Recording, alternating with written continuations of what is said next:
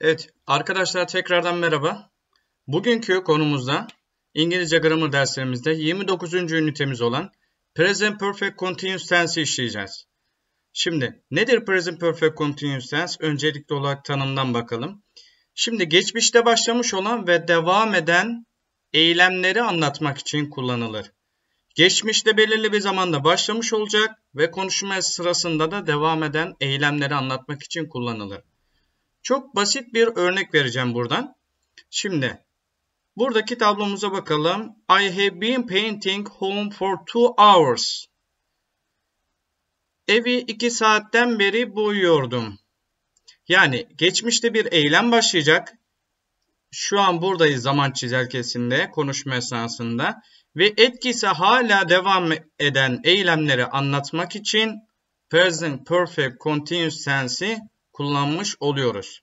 Yani bizim burada evi boyamamız ve etkisi ve hala devam eden eylemleri anlatmak için kullanıyoruz. Evi boyamanızı 2 saat aldı. 2 saat sonra evin hala kuruması, o boyanın kurulması belirli bir zaman alacağı için etkisi devam etmiş oluyor. Buna, buna istinaden present perfect continuous tense'i kullanmış oluyoruz. Peki dedik geçmişte belirli bir zamanda başlamış olan ve konuşma sırasında da devam eden eylemleri anlatmak için kullanılır. Resmimize baktığımızda diyor ki burada iki sevgili var. They have been waiting for a long time.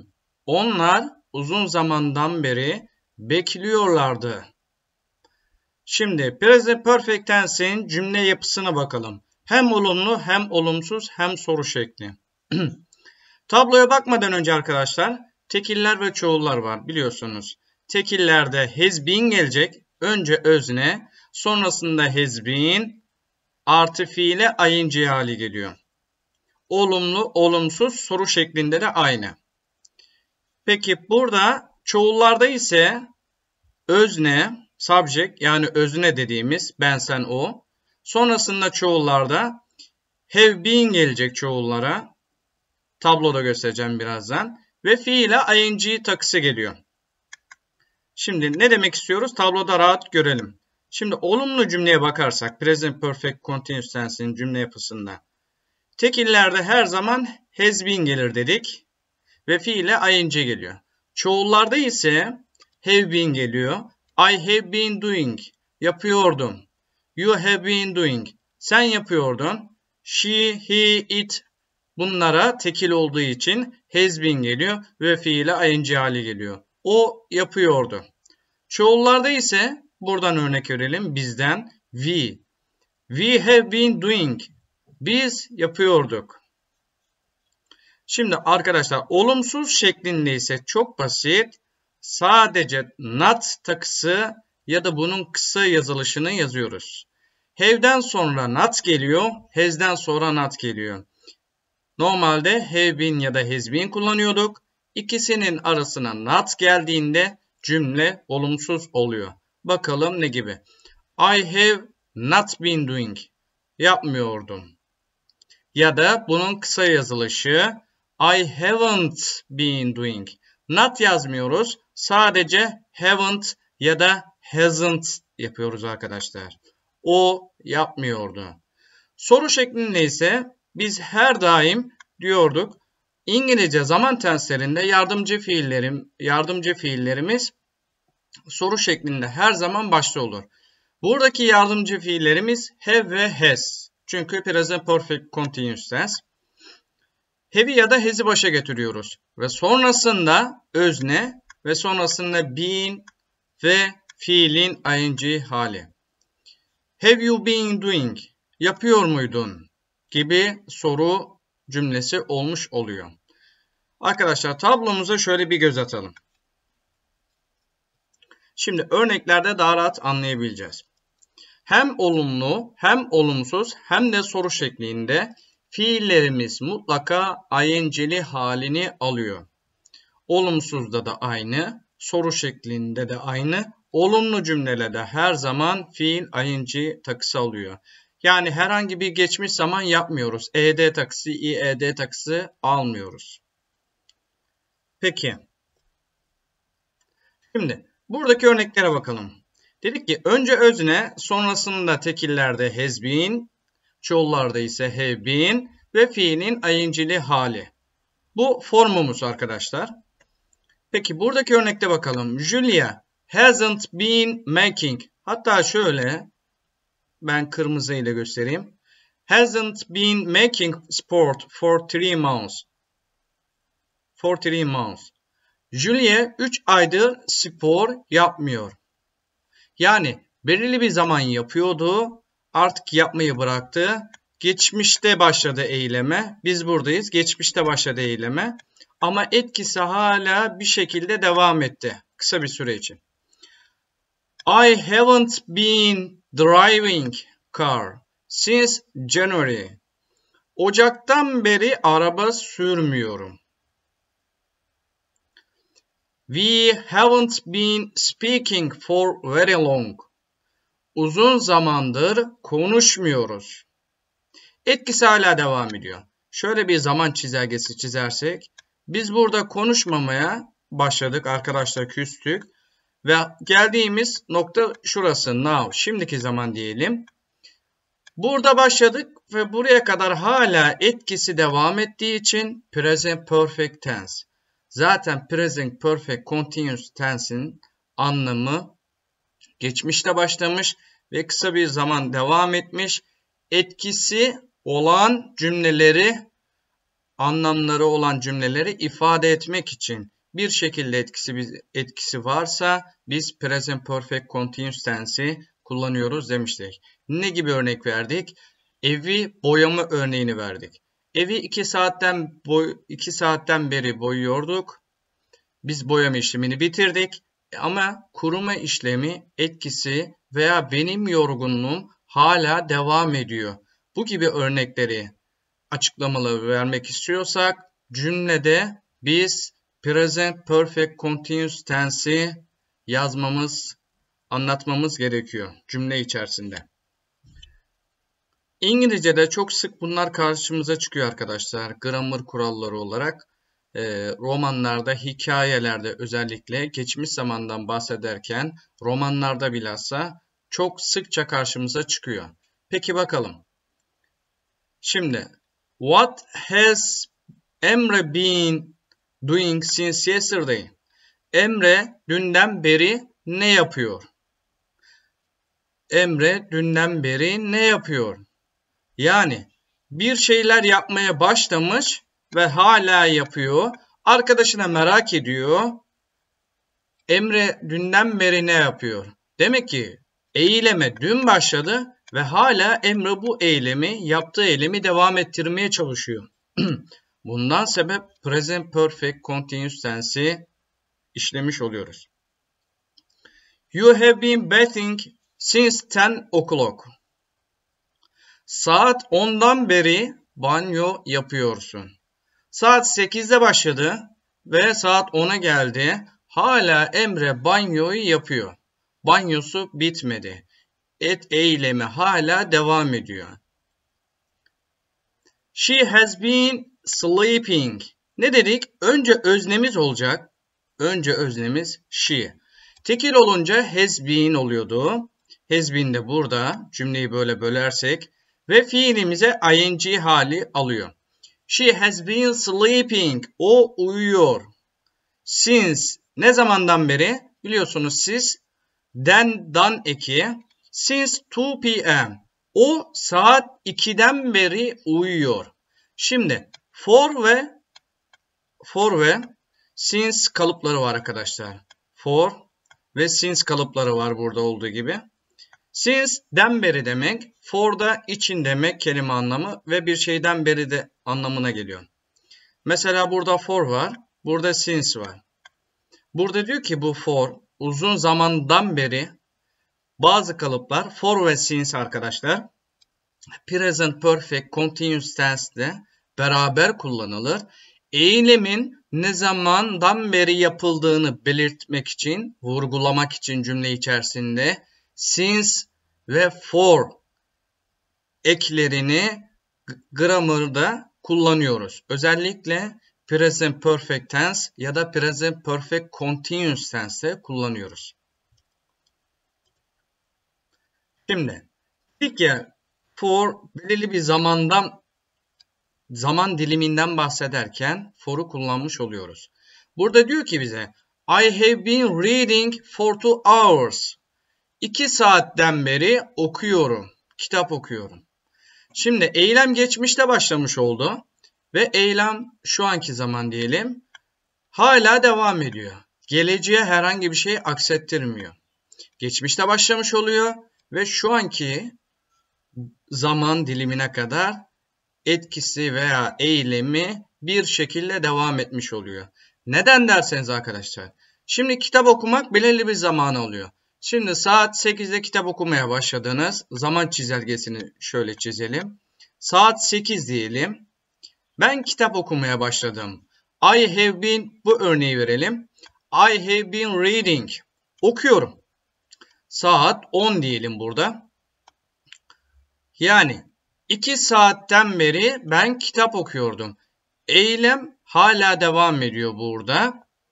Çünkü kitabı okuman belirli bir zaman aldığı için özellikle de zaman vurguladığın için for kalıbını, for eki, ekini kullanmış oluyoruz. Since ya da for'u kullanabiliriz. Bu kadar basit arkadaşlar. Eylem geçmişte başlamış olacak ve konuşma esasına kadar, şimdiki zamana kadar bir şekilde devam etmiş olacak. Etkisi hala devam eden cümleleri vurgulamak için present perfect continuous tense'i kullanmış oluyoruz. Örneğimize bakalım. Ne diyor bize burada? It has been snowing for five days. Beş gündür kar yağıyor. Yani burada karın yağması beş gün önce başladı ve beş gün boyunca kar yağdığını belirtmek için biz burada present perfect continuous zaman dilimini kullanmış oluyoruz. Çünkü karın yağması hemen yağıp da durmuyor. Belirli bir zaman yağdı ve etkisi devam etti. What have you been doing for hours? Saatlerdir sen ne yapıyorsun? Sen belirli bir eyleme başlamışsın. Belirli bir şey yapmaya başlamışsın. Ve halen yapıyorsun. Ben de diyorum ki What have you been doing for hours? Saatlerdir ne yapıyorsun? Whose raincoat has Jane been wearing? Jane kimin yağmurluğunu giy giyiniyor? Where have you been playing all afternoon? Bütün öğleden sonra nerelerde oynuyordunuz? Yani öğleden sonra eylem başladı ve akşama kadar oynadılar. Bu cümlesini anlamış oluyorum. Bu anlamı e, cümle içerisinden alıyorum. Bütün öğleden sonra nerelerde oynadınız? Eylem başladı ve bir şekilde devam etti gün boyunca. She has been living. Yine öznemize bakıyorum. Tekil, o, bayan için. O zaman tekillerde her zaman has been vardı. Ve fiilim ing'li haliydi. She has been living in England for six months. For'u kullandık arkadaşlar. Çünkü belirli bir zamandan bahsetmek için, vurgula, vurgulamak için, belirli bir zamanı vurgulamak için eylemden since ya da for'u kullanıyoruz. 6 aydır İngiltere'de yaşıyor. O 6 aydır İngiltere'de yaşıyor. You have been living. Evet. Burada you olduğu için you'ya have been geliyor. Ve fiili mayincili hali. You have been living here for two years. İki yıldır burada oturuyorsunuz. İki yıl önce oturmaya, ikamet etmeye başladınız ve iki yıl geçti, halen oturuyorsunuz. Belirli bir zaman dilimini vurgulamak için for'u kullanmış olduk. Yani for ya da since varsa bundan sonra belirli bir zaman cümle içerisinde görmemiz lazım. Two years, three years, four, four years, five years artık ne kadar zaman dilimi varsa. Şimdi burada örneklerimiz var arkadaşlar. Peki tekillere has been geliyor. Çoğullara ise have been geliyor. Fiil her zaman ing'li hali alıyor. Soru şeklinde ise has ya da have yardımcı fiilimiz başa geliyor. Sonrasında özne geliyor. Birinci örneğimizde bakar, bakar, bakarsak burada parantez içerisinde fiilimize bakalım. To work. Fiilin yalın hali. Şimdi bize bunu kullanmamızı istiyor. Diyor ki örne, örneğe bakaraktan diyor cümleyi tamamlayın. Present Perfect Continuous Tense. Peki has been ya da have been kullanacağız ve fiilin ing halini kullanmış olacağız. Önce çalışmak fiili. Fiilimize bakalım nedir? Çalışmak fiili.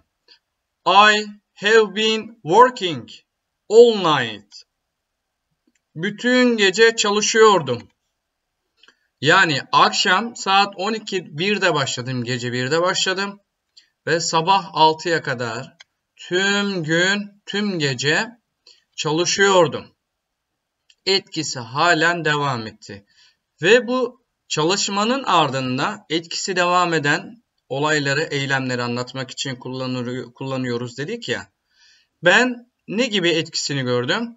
Bütün gece çalıştım ve yorgunum diyebiliriz. Cümle bu şekilde devam edebilir. 1. We o zaman çoğul biz demek bize have been geliyor. Çoğullarda her zaman yapımız have been'di. Ve fiilimiz wait beklemek fiili ing alacak. Have been waiting for you. We have been waiting for you.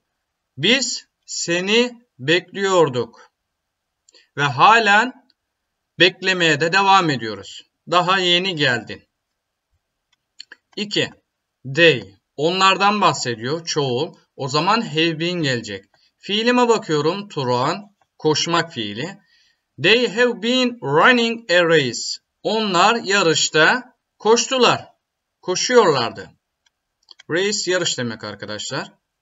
3. He erkek için he o demek. O zaman tekil olduğu için has been gelecek. Fiilim ne? Okumak fiili to read. O zaman reading olacak ing'li hali. He has been reading a book. O kitap okuyordu. Ve halen okumaya devam ediyor. Birisi yani bu cümleyi kullanıyorsa he has been reading a book. O kitap okuyordu. Geçmişte başlamış ve belirli müddet devam etmiş etkisi olan cümleler için, ifadeler için bu biz burada present perfect continuous tense'i işlemiş olduk cümle içerisinde. Dördüncü örneğimizde ise özneme bakıyorum you. You'ya o zaman have been geliyordu. Fiilim ne? Yazmak fiili. To write. You have been writing a letter. Letter me mektup demek arkadaşlar. You have been writing a letter. O mektup yazıyordu. Hala yazmaya baş başladı yazmaya ve halen yazmaya devam ediyor. Mektubunu bitirmedi. Veya mektubunu yeni bitirdi, postaya verecek. Etkisi eğilimin bir şekilde devam ettiği için biz burada have been ya da has been e, formunu kullanmış olduk. Beşinci örneğimiz I.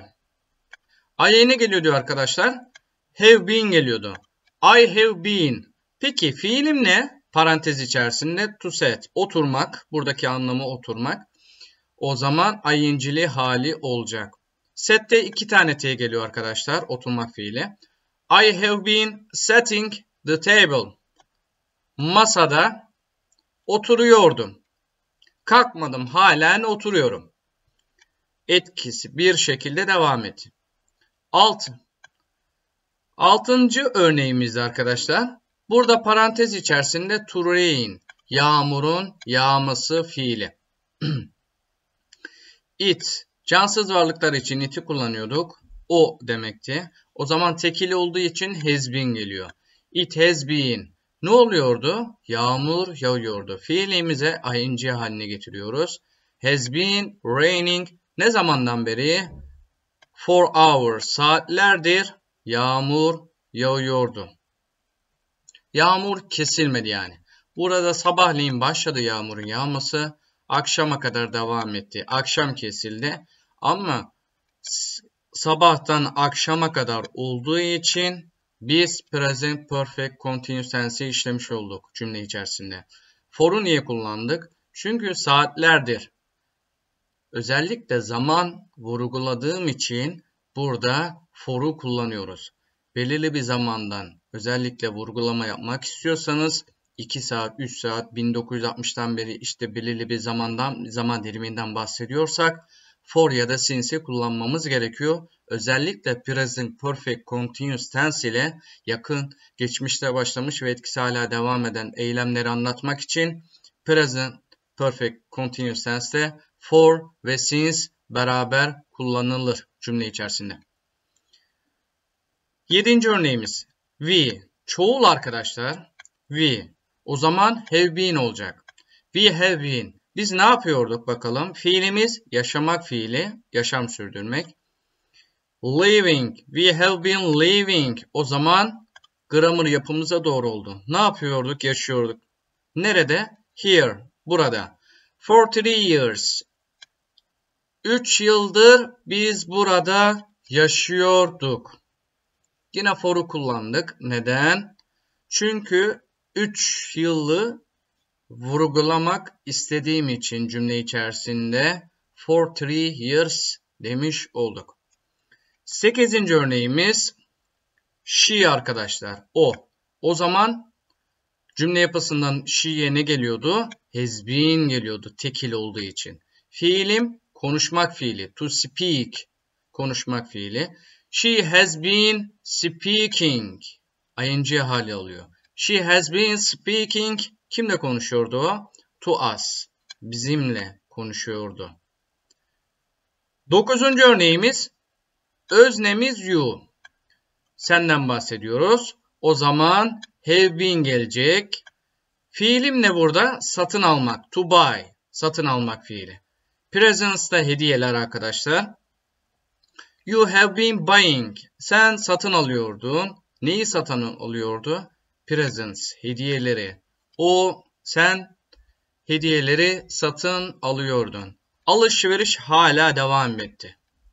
Yani sabah geldi alışverişe, öğlen saati oldu ve halen alışverişe bir müddet devam ettiği için present perfect continuous tense zaman cümlesini biz burada işlemiş olduk.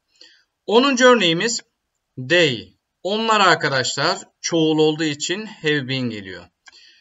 Fiilim to plan. Plan yapmak. O zaman planning olacak. Have been planning. They have been planning a trip. Trip de seyahat. Seyahat etmek arkadaşlar. Seyahat isim anlamı burada. Onlar ne planlıyorlardı? Seyahat etmeyi planlıyorlardı. Gezi planlıyorlardı. Evet. Bir sonraki e, örneklerimizde bakalım. Bize burada diyor ki Mary Harris Mary Harris has been staying has been staying Mary Harris kalıyormuş. Nerede kalıyormuş? In a rented flat. Kiralanmış bir dairede kalıyormuş. Ne zamandan beri? Since den beri. Returning to Liverpool. Liverpool'a döndüklerinden beri onlar kiralık bir apartmanda kalıyorlardı. 2. As house prices in the cities have risen, risen. Şehirde, şehirlerde ev fiyatları, ev kiraları yükseldikleri, yükseldiği için insanlar, people have been moving. İnsanlar taşınıyorlardı. Nereye? into the countryside şehir dışına countryside şehir dışı demek İnsanlar şehir dışına taşınıyorlardı. Ev fiyatları yükseldiği için şehirde insanlar şehir dışına taşınıyorlardı. 3. All day tüm gün. The police o zaman teki kullandığı için has been olacak. Fiilim stop, durmak fiili, durdurmak. Stopping, All day tüm gün the police has been stopping. Polis durdurdu. Kimi? Motorist. Motorcuları. Niçin? To question them. Onları sorgulamak için. Ne hakkında soru sormak için? Onları ne hakkında soru sormak için durdurdu? About the accident. Kaza hakkında. Accident kaza demek arkadaşlar. Trafik kazası. 4. I. O zaman ne olacak? Have been olacak. Fiilim read. Okumak fiiliydi. I have been reading this book. Bu kitabı okuyordum. On Astrophysics. Gök fiziği hakkında, gök fiziği kitabını okuyordum. For hours. Saatlerdir. And I am still only on page 6. Ve halen diyor 6. sayfadayım. Gök fizik kitabını okuyordum ve halen 6. sayfadayım. Yani kitap okumaya başlamış ve halen okuyor. Buna istinaden biz burada have been reading dedik. Yani present perfect continuous tense'i yaptık. Etkisi başladı. Hatta şöyle diyelim. Okumaya başladı ve halen o 6. sayfada 6. sayfayı geçmedi. Okumaya devam ediyor. Geçmişte başlamış ve halen devam eden eylemleri anlatmak için biz zaten ne yapıyorduk? Present Perfect Continuous Tense kalıbını kullanıyorduk. Have been reading dedik biz burada. Beşinci örneğimiz Dr. Fletcher tekil olduğu için has been olacak. Parantez içerisindeki fiilim give, vermek fiili. Has been giving. Dr. Fletcher has been giving. Dr. Fletcher ne veriyormuş? The same lecture. Aynı dersi veriyormuş. Lecture ders demek. Bir eş sinonim anlamında lesson demek. Nereye veriyormuş? To students. Öğrencilere. Ne zamandan beri? For the last 10 years. Son 10 yıldan beri Dr. Fletcher aynı dersi veriyormuş okulda. 10 yıldır yapılan bir eylemi bahsetmiş oldu burada cümle içerisinde. Biz ne yaptık? Has been yapısı ile yani present perfect continuous tense yapısını kullanmış olduk. 10 yıldan beri yapılan bir eylemi anlatmak için. Altıncı örneğimiz I. O zaman ne olacak? Have been olacak. Ve fiilime parantez içerisinde bakıyorum. Yüzmek fiili. I have been swimming yüzüyordum and ve I feel exhausted. Exhausted ve tired cümleleri yorgun, bitkin, halsiz anlamı veriyor cümle içerisinde bize arkadaşlar. Kelime anlamı bu şekilde. Biz ne dedik? Present Perfect Continuous Tense geçmişte başlamış, eylem devam etmiş ve etkisi olan cümleleri anlatmak, eylemleri anlatmak için biz Present Perfect Continuous Tense'i kullanıyorduk. Bizim burada ne gibi etkisi var? Yüzmeye başladım. Yüzü, yüzdüm. Yüzüyordum. Yüzdüm. Ve yorgun, bitkin haldeyim şu an. I have been swimming. Yüzüyordum. Ve yorgun hissediyorum kendimi. Yani etkisi bir şekilde bizi etkiliyor. Etkisi olan cümleler için present perfect continuous tense'i işlemiş olduk. Yedinci örneğimiz in recent years. Son zamanlarda demek arkadaşlar. Brazilian companies, Brazilian, Brezilya şirketleri, o zaman çoğul var, have been olacak. Ne yapıyormuş? Fiilim put, koyuyorlarmış. Have been putting a lot of money. Onlar çok para koyuyorlarmış. Neye? Into developing advanced technology. Gelişmiş ileri düzeydeki teknolojiye çok para yatırıyorlarmış. Çok para koyuyorlarmış. Sekizinci örneğimiz plants and vegetables. Çiçekler ve bitkiler o zaman çoğul olacak have been. Fi fiilim nedir? Disappear. Yok olmak, ortadan kaybolmak fiili. Have been disappearing. Ayıncılı hali. Ortadan kayboluyorlarmış. Nereden? From my garden. Bahçemden. Kayboluyorlarmış. Kaybolan ne? Çiçekler ve bitkiler. Ne zamandan beri? Since'den beri demek. We had new neighbors. Bizim yeni komşularımız geldiğinden beri, biz yeni komşulara sahip olduğumuzdan beri çiçekler ve bitkiler bizim bahçemizden kayboluyorlardı. Ve halen kayboluyorlar. Çünkü yeni bir komşunuz taşınmış sizin bitişiğinize. Bahçenize bakıyorsunuz çiçekler ve bitkiler yok olmaya başladı. Bunların taşınmaları belirli bir süreç aldı. Taşındıktan sonra oturmaları belirli bir süreç aldı. Buna istinaden biz present perfect continuous tense'i kullanmış olduk. Buradaki örneğimize bakalım şimdi arkadaşlar. Birinci örnek örneğimize. She looks very depressed. Depressed, üzün, üzgün hissetmek arkadaşlar. O üzgün gözüküyordu. She has been reading a sad story. Çünkü o acıklı, e, üzgün bir hikaye okuyordu. 2. They have been smoking for a long time. Onlar uzun zamandan beri sigara içiyorlar. 3. His eyes are red. Onun gözleri kırmızı. He has been crying too long. Onlar uzun zamandan beri ağlıyorlardı.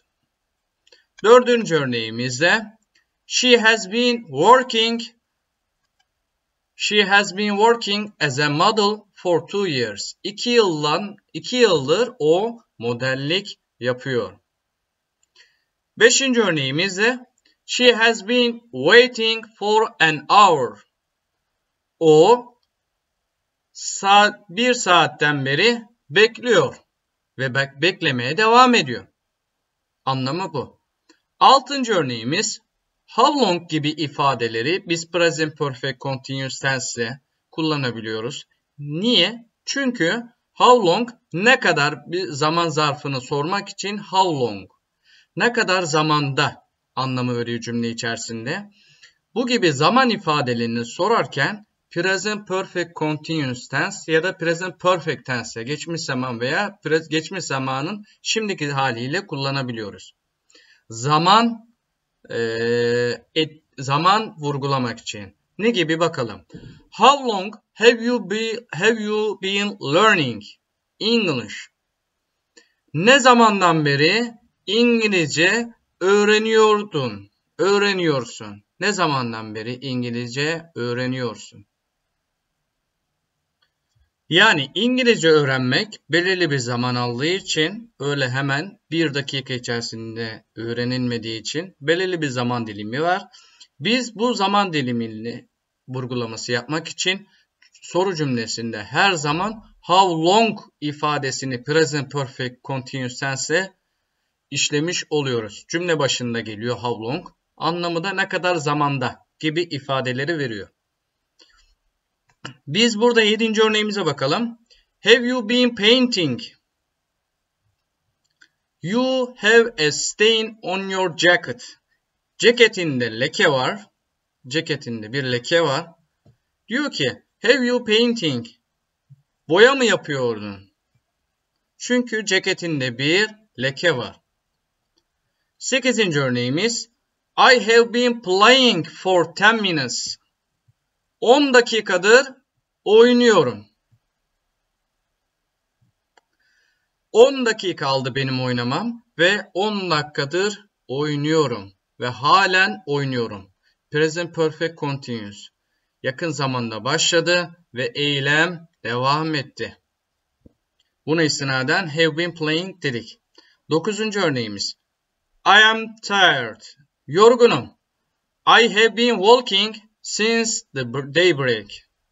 Öğlen arasından beri ne yapıyorum? Yürüyorum.